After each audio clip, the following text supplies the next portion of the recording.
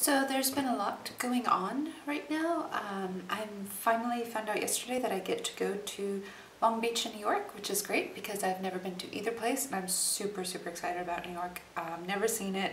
It's an exciting place by any standards. Um, I'm staying in a hotel called The Pod, which has like really small rooms, but they're kind of funky and cool.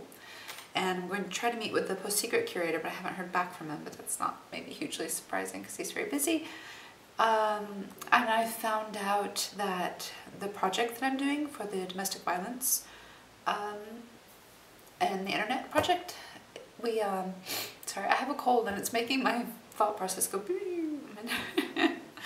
the, yeah, the domestic violence project, we had some money left over for travel and toys. Um, so we're going to do this academic road trip where we're going around Sweden and interviewing people in different women's shelters about their use of the internet and then the people that work there about how um, they see their page, how effective it is or isn't. And um, so that's going to be a lot of fun. It's kind of an outreach and interview thing at the same time. But also we had some project money for um, toys to, to take with us to do the, the, um, the research. And one of them is a new camera. Right now I'm using the Lumix GF1 which is pretty cool. I really, really like the depth of field. It's fantastic. Um, so I was going to order that one, but then I was advised by our IT department to look at the GF2, and I looked at it and I liked it um, as much, if not better, because you can you can film in real HD. I don't know if that makes a difference or not, especially as I'm not vlogging as much. More on that in a second. But um, so I did. I ordered the GF2 and I ordered an iPad with 3G, so we could document um, while on the road. We'll see how that goes or if it wasn't just a, I hope it wasn't a fluff purchase. Um, the, I'm really excited about the camera because the academic channel, collab channel, it has come along. I'm thinking we're going to be called Academicology, which is a bit of a mouthful, but I don't know, might be cute.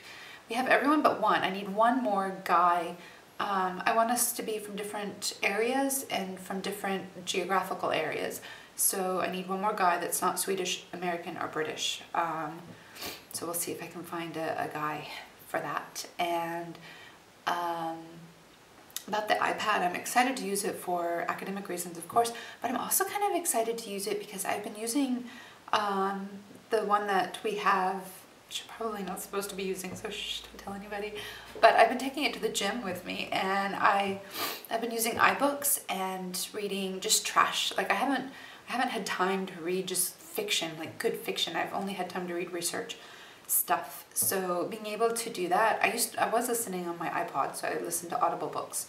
Um, but on the elliptical machine, because it has been so cold this this Chris this Christmas, blah, this year, this this um, winter. Winter is the word I'm looking for. It has been so cold, coldest since I've ever lived here, and we have snow just unbelievably um, so anyway, I've been going to the gym more and I've been doing the elliptical machine and on the elliptical machine I can use the iPad and have iBooks going and make the text bigger so I can read it even though you're bouncing a little bit.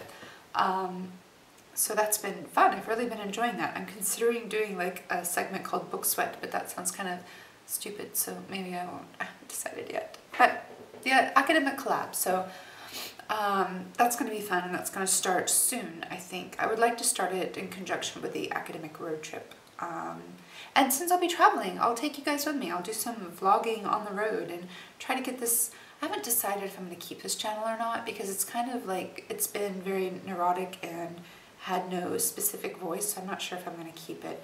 Um, if I don't, then I'll just be blogging, vlogging mainly on the Academic Collab channel, which is YouTube slash academicology. Um, I'll put the link in the end bar. So that's my news. If you're still there, I don't know if anybody is still out there, but if you are, hi, and maybe you'll see more, maybe you won't. I haven't decided yet if I'm going to keep this channel or if I'm just going to go straight to the academicology channel. We'll see. Okay, bye.